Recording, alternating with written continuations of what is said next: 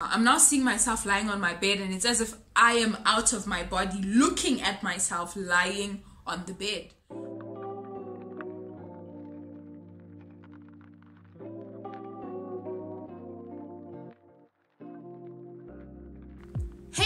Guys, welcome back to another video. To all my returning subscribers, thank you guys so much for your love, for your support, for subscribing to my new channel. I really appreciate you guys. Thank you so much for the love and support. If you are new here, go ahead and hit that subscribe button and become part of the family.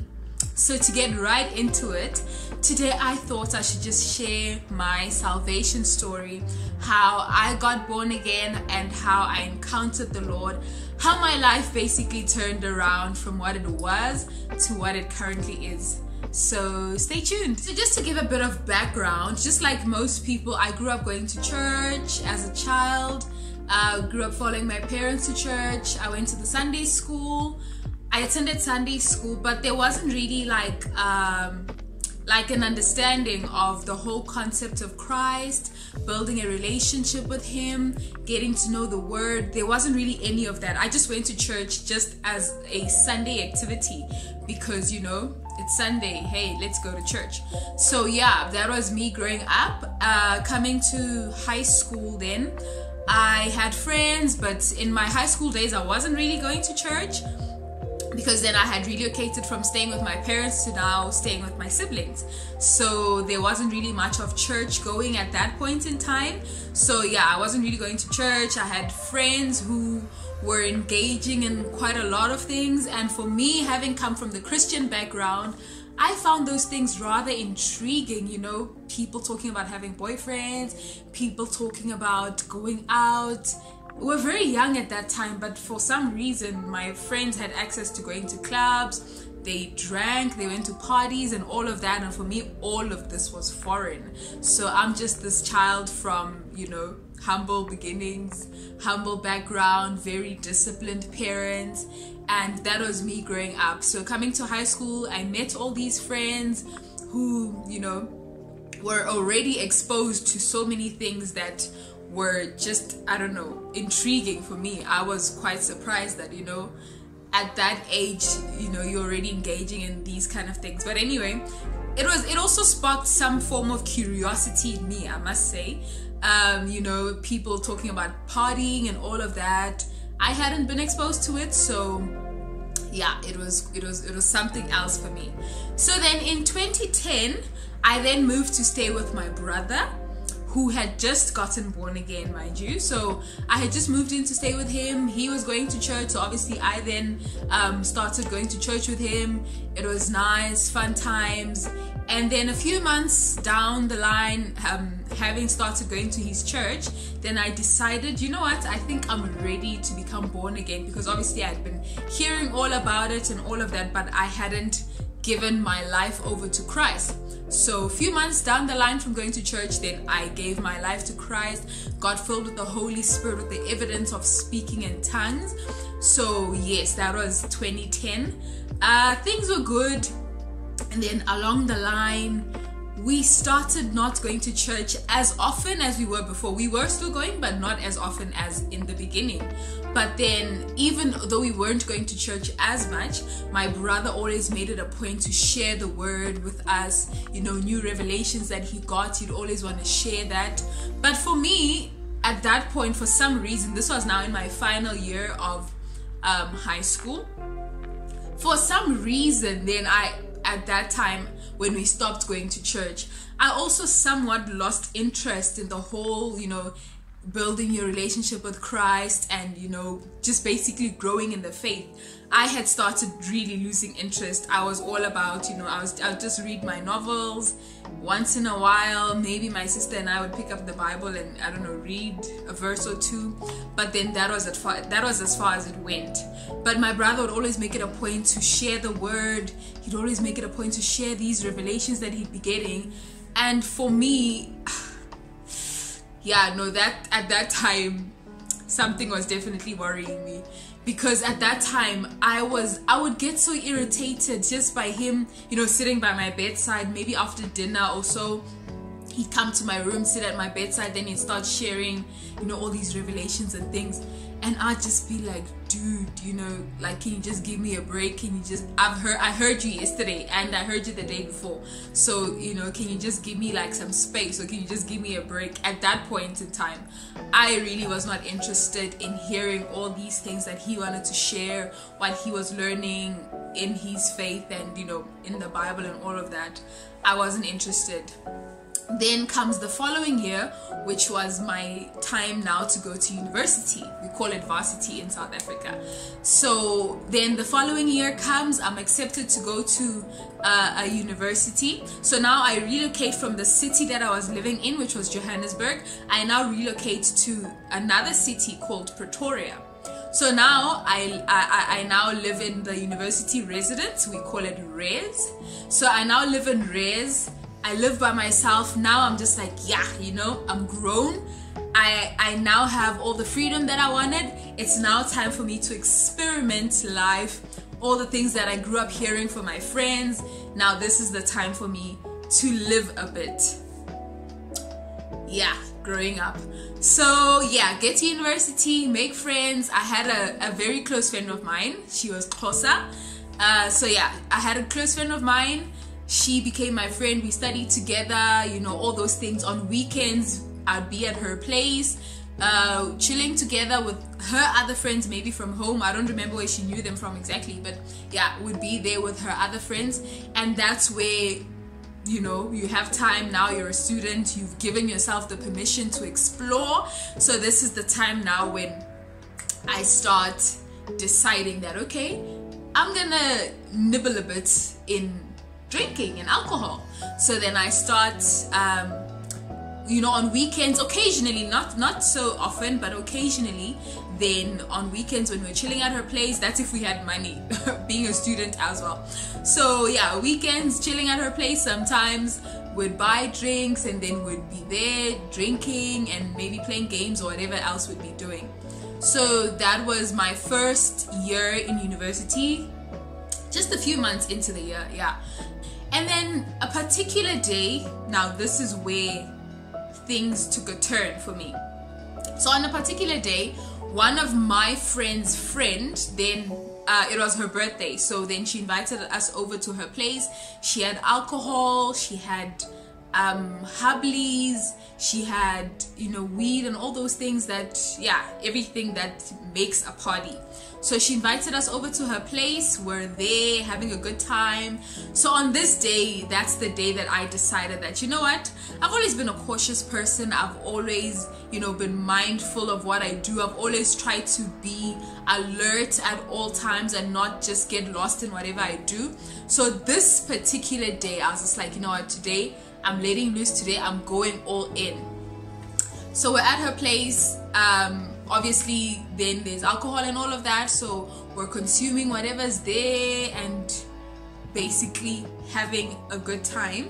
So yeah then we leave her place to now uh, uh, there was a, a, drinking place called hatfield square. So if you've been around pretoria then you definitely know what i'm talking about. So now we leave her place we go to the square which is basically like a, a, a, like it's buildings or restaurants or pubs whatever you want to call them that like make up sort of like a square where you know it was like a drinking student place. So in the center normally performances and stuff would take place. So we went out now to the square which is the drinking spot where yeah, students uh, go to drink. So I lived like a street away from that place. I basically lived across the road from the place. So now on this day, funny enough, yeah, I'm letting loose, you know what, I'm having a good time out with my friends and all of that. So now on this particular day, guys, you know when the devil means to destroy your life. On this day, people are offering to buy us drinks, you know, strangers that we don't even know are offering to buy us drinks. That day I drank things I've never seen, I've never heard of, never touched in my life. But that day, because I was letting loose, I was like, you know what? I'll accept anything. So people were buying us drinks, drank. We were there for quite a while. At some point, I don't even remember what what happened because the following day after that, you know, I only remember to a certain point. I couldn't remember past a certain point. So, yeah, that day then I eventually then in the evening, like this was at night now, because we left the lady's place at maybe I don't know seven ish, eight ish. Then we went to the square, drank, had a good time, and then I decided then you know what I think I've had enough. I'm going home. To, to tell the truth, I actually don't know how I got home because I don't even remember when I left. I don't remember how I got home. I don't remember how I found my, my, my, my apartment. I don't even know how I found my room and how I got in and all of that. But by God's grace, I made it home safely with nothing happening given the, the, the, the times that we live in. But yeah, I thank God that He kept me. I made it home that day. And the next thing I remember, the next thing I remember now is I guess it was in the morning or so. The next thing I remember now, I'm waking up. No, the next thing I remember now, I'm now seeing myself lying on my bed. This is in my res now. I'm now seeing myself lying on my bed, and it's as if I am out of my body, looking at myself lying on the bed. So then, the only thing that was going through my mind at that time, I'm like, oh my gosh, what is my mother gonna say? I died because of alcohol. My mother's gonna be so disappointed in me. Like, that's just what was going through my head. Like oh my gosh i died because of alcohol. Because mind you i grew up a very good child. My parents trained me very well. My parents disciplined me. I was not a wayward child. I've never been an out of lying child or had you know given them problems growing up. So now this one day that I just decided that I'm gonna go all in, this is the day that I like the feeling that I had at that point is that I'm dead basically. Because like even even looking back at it I, there's no other explanation for what happened to me that day. I'm literally seeing myself on the bed. I'm standing beside my bed crying to god saying oh my god i died because of alcohol and then after that the next memory i have after that is now me waking up. I think my friend my friend had come now to my room because she lived in a different building. So my friend who i was with the previous night now had come to my room and she's the one who then woke me up. So now i'm waking up to her and you know she's tired everybody's hungover we're just there. At this point i'm feeling so sick. I was feeling so weak. Like I was just out of it. Like I was so sick. I don't think I've ever been sick like that in my life. I've never been sick like that in my life. So I'm waking up now. My friend has come. Now I'm waking up, and my roommate, who sleeps across the room from me, she's sitting there with her friend as well. Mind you, she's very like churchy, very Christian lady, well kept. I could not even ask her, like, do, do you remember what happened to me yesterday? Do you know how I got home or anything like that?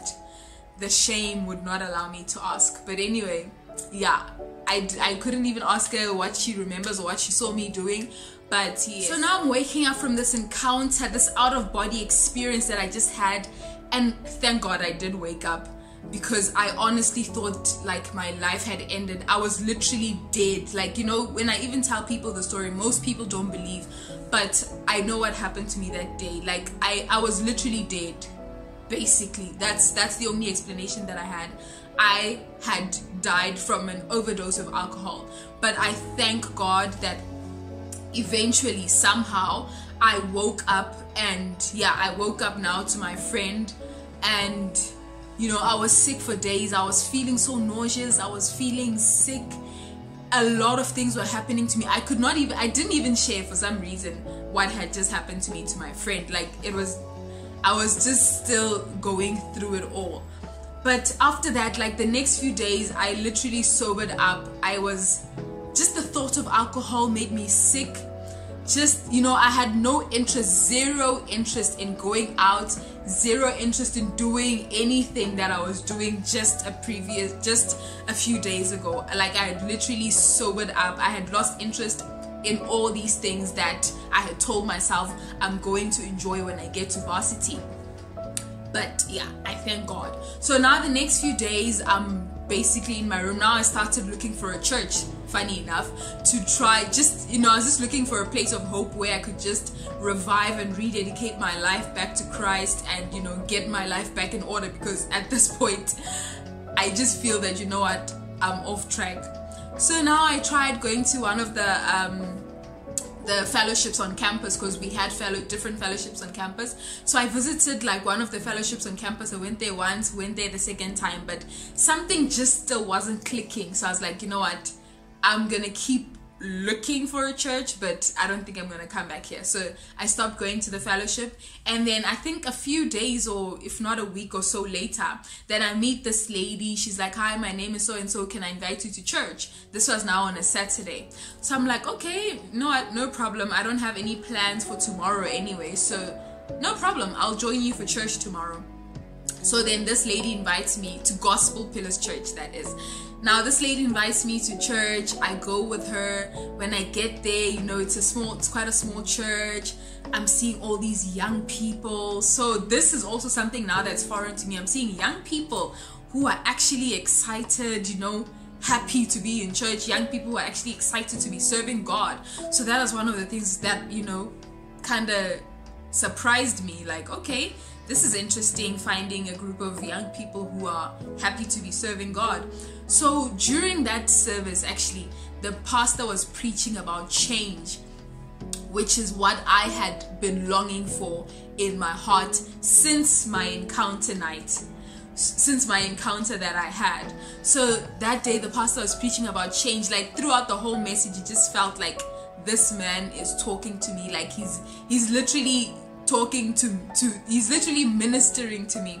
And it was one of those moments where you know nobody had to tell you like oh this is the place that god is calling you to or this is where god wants you to be. On like I literally felt like this is the place where god is calling me to be I really thank God for that lady who invited me to church. I really thank God for the day that I walked into that church because I've never looked back ever since that day. So from there, I rededicated my life back to God. I started serving with joy.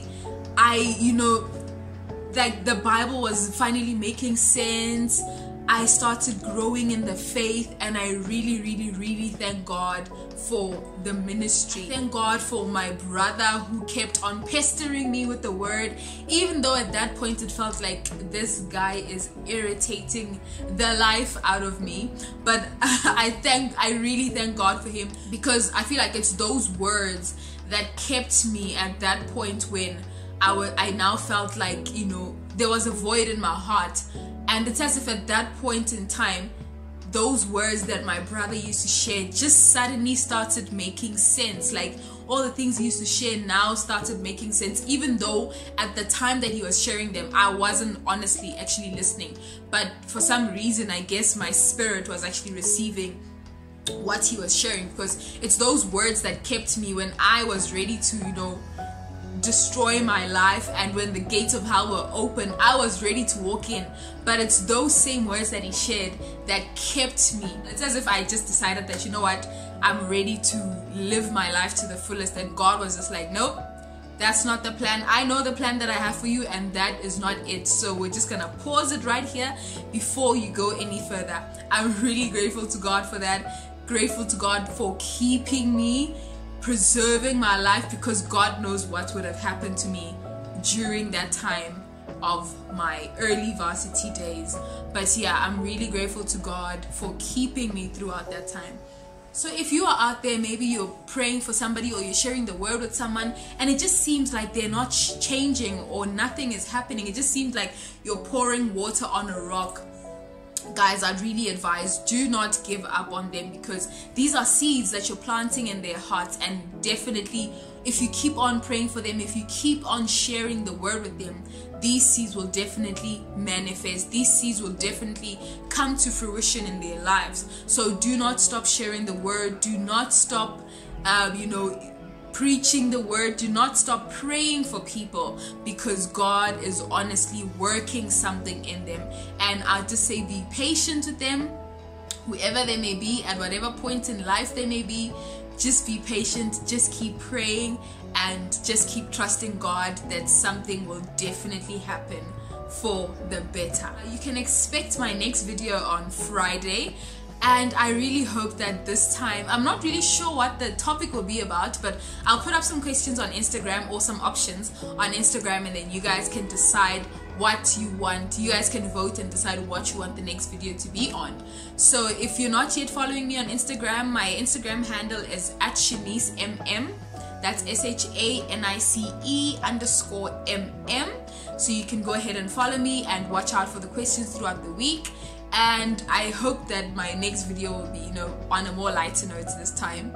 But yeah thank you guys so much for watching until the end. Don't forget to give this video a thumbs up.